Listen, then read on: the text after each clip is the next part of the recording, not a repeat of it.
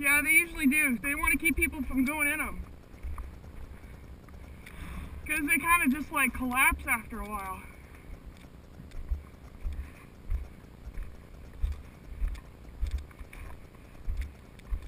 Nice.